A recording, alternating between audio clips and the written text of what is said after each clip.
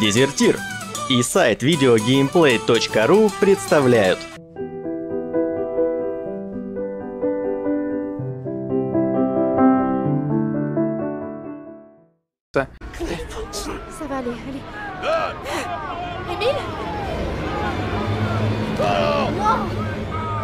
Ой-ой-ой-ой-ой. Победа была для Анны довольно горькой. Тяжело раненый Карл был отправлен в лагерь для военнопленных. Барон фон Дорф исчез, прихватив ее отца, а Эмиль попал под трибунал как дезертир. К счастью, за отвагу, проявленную в Реймсе, Эмиля освободили, чтобы опять отправить на фронт.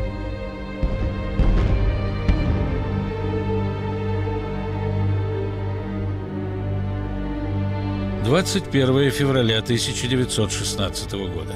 На фронте наступила зима. Вернувшиеся в строй Фредди и Эмиль были направлены в окрестности Вердена. Как и всем остальным, им пришлось бороться со стужей. Прибывшая утром почта подняла солдатам дух. Но от Мари пришли дурные вести. В Сан-Миеле правили бал, болезни и голод. Умерших было все больше. Но среди печальных новостей был и лучик света. Фотография внука Виктора. Он уже вставал на ножки и учился ходить. Ну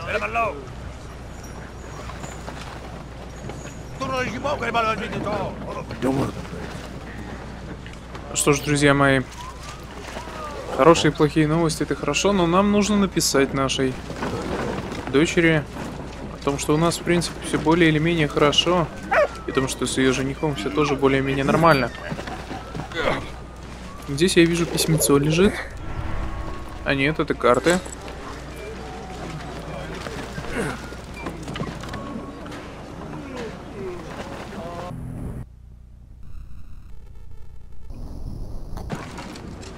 Но есть еще остальные вещи.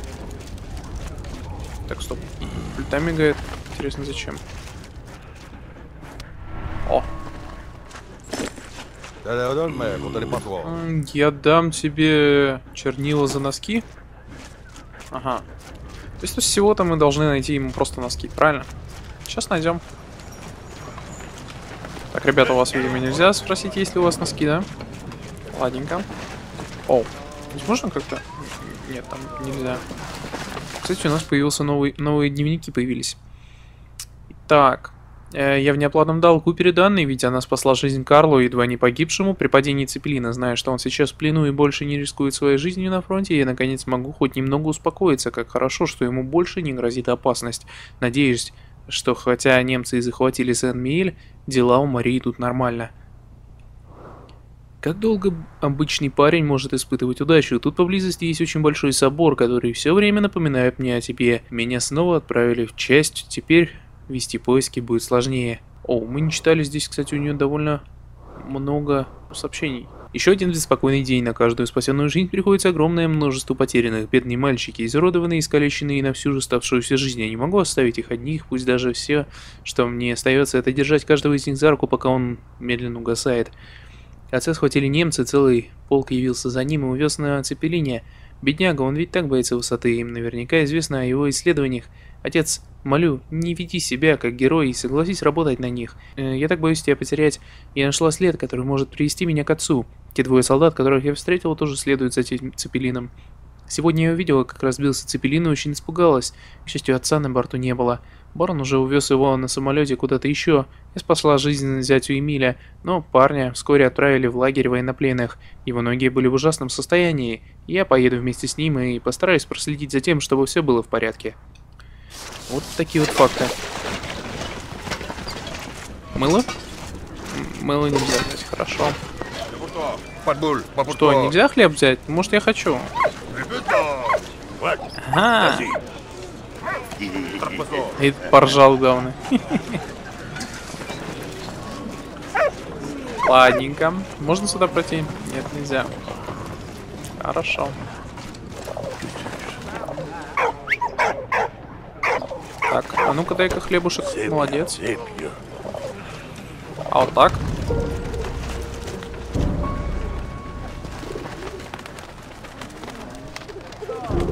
Перо! Слушайте, вот как можно было просто добыть перо. Частично мы выполнили наше задание. Но... Молодец, молодец, да. Но где мне найти оставшиеся несколько частей? Например, где же мне найти носок? Да, мне уже предлагают открыть меню подсказок, но я думаю, я надеюсь, почти, почти надеюсь на то, что я все-таки справлюсь без него.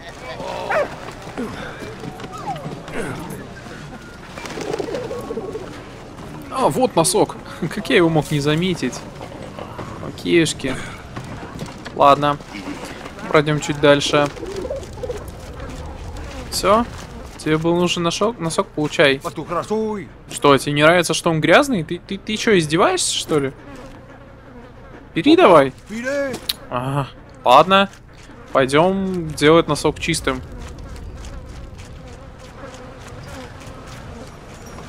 Так. Что нам для этого нужно сделать? Что? Что? Чё? Почему нельзя? А, я их обманул, они отвернулись, я, короче, бросил туда носок.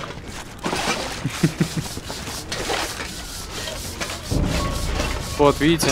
Вот так вот можно обманывать людей. И в итоге они помыли мне носок.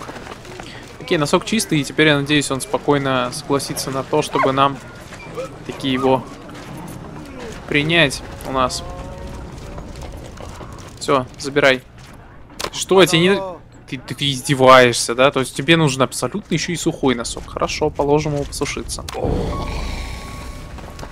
Теперь-то, я надеюсь, у тебя с носком все нормально, да? Слава тебе, Господи. Моя милая дочь, я узнавал про Карла. Его жизнь вне опасности. Он все еще в лагере к югу от Реймса. Надеюсь, мне все-таки разрешат его повидать. Спасибо за фото. Оно много для меня значит. Ой-ой-ой. Походу, ребят, у нас проблема. Ой-ой. А почему у меня он не двигался почему-то в левую сторону?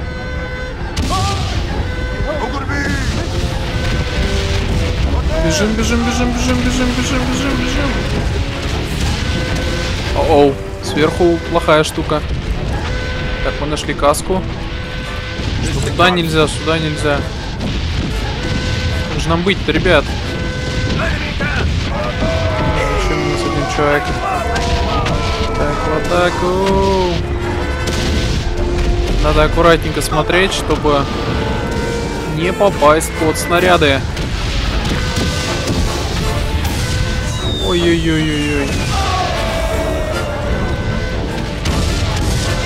Плохо-то? Чуть попал. О-оу. Если эта хрень рванет, будет очень плохо. Срочно, крути, кру крути, подымай нас. Будет очень-очень-очень-очень плохо, если она взорвется. Ух. Или уклонился.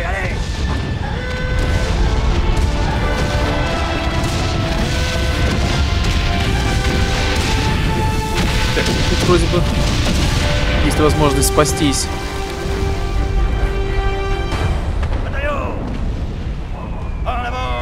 Вот, командир нам сказал в атаку бежать. Первым делом мы возьмем свисток и на самом деле почитаем исторические факты по фактам. Фронтовой рацион. Бесперебойная поставка продуктов питания миллионам бойцов была настоящей головной болью для тех, кто занимался снабжением. Сбои в системе часто становились причиной голода и, что еще страшнее, жажды бойцов передовой. На Западном фронте рацион солдат состоял из хлеба, риса, супа и небольшого количества мяса и сушеных овощей. В паёк британцев был включен алкоголь. Русская полевая кухня отличалась наличием большого количества каш, часто варились щи, изредка давали рыбу и сало. Однообразная пища быстро надоедала, поэтому посылки с домашней едой приводили солдат в огромный восторг. 18 месяцев спустя За первые 18 месяцев войны линия Западного фронта почти не изменила свои воюющие стороны, засели в окопах и траншеях, пытаясь отбить друг у друга хотя бы клочок земли. Переход к войне на истощение сделал боевые действия 1915 года, в которых пострадало немало мирных жителей, наиболее кровавым. К концу этого года началась ощущаться нехватка живой силы и провианта. Боеприпасов же не хватало просто катастрофически. Восточный фронт, на котором вела войну Россия, был более тяжелым, и боевые действия на нем имели менее позиционный характер. Тем не менее, также возникли аналогичные проблемы – Колючая проволока. Колючая проволока появилась э, в 1874 году и использовалась еще до войны, однако именно с началом позиционных действий Первой мировой она получила совсем повсеместное распространение. Тысячи тонн материала уходили на возведение ограждений на нейтральной территории. Солдаты отчаянно искали способы борьбы с проволокой, использовали обыкновенные кусачки или срывали ее с помощью крюков. Самым эффективным средством в итоге оказались интенсивные артобстрелы. Разлагающиеся трупы солдат, висящие на колючей проволоке, стали одним из самых известных символов жестокости войны. Верден. Битва, которую на рассвете 21 февраля начали германские войска, намеревавшиеся прорвать фронт Анты, продолжалась долгих 300 дней. За это время отдельные стратегически важные позиции по несколько раз переходили из рук в руки, пока французы наконец не начали склонять исход сражения в свою пользу в битве при Вердене. Концентрация потерь оказалась самой высокой за все годы войны. На площади менее чем 158 квадратных километров погибло 600 тысяч солдат. Награды. Наиболее известной французской наградой Первой мировой войны стал военный крест. Около 2 миллионов награжденных германский железный крест, и его получили около 5 миллионов бойцов. Основной наградой для русских солдат стал еще один крест Георгиевский. Не менее чем полтора миллиона награжденных британских бойцов массово награждали медалями, которые даже получили иронические прозвища «Зернышко», Скрип, Уилфред по именам героев популярного комикса. Так называли звезду за военную кампанию 1914-15 годов. Ее получил 2 миллиона, военную медаль 6,6 миллионов и межсоюзную победную медаль 5,7 миллионов. По поводу остальных мы почитаем чуть попозже. Бежим в атаку! Двигай. А нет, в другую сторону. Окей.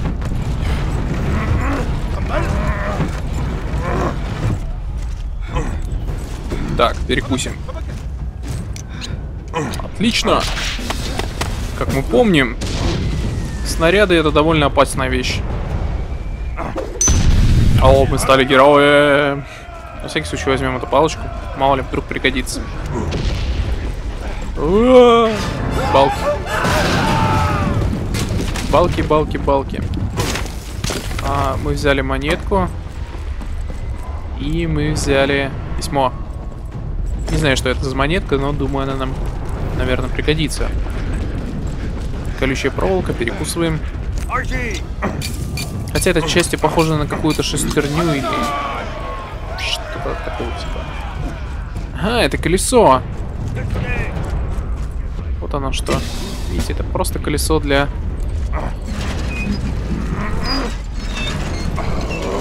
для, для, для, для уничтожения преграды. Все хорошо. И, а, вот теперь мы можем сбить.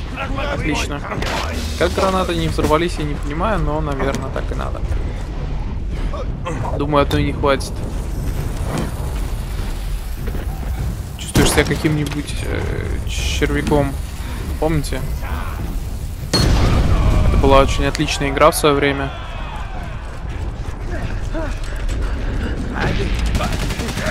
Так, ну ты должен же остановиться, не могут же...